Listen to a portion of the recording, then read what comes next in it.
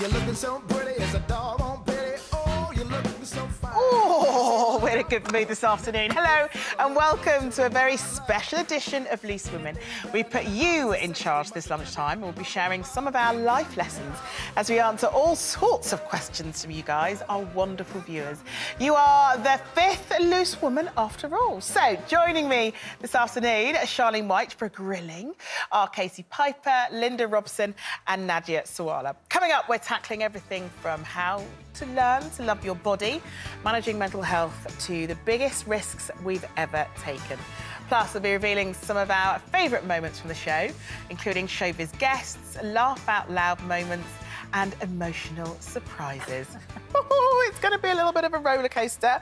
Uh, right, so ladies, are you ready for this? Yep.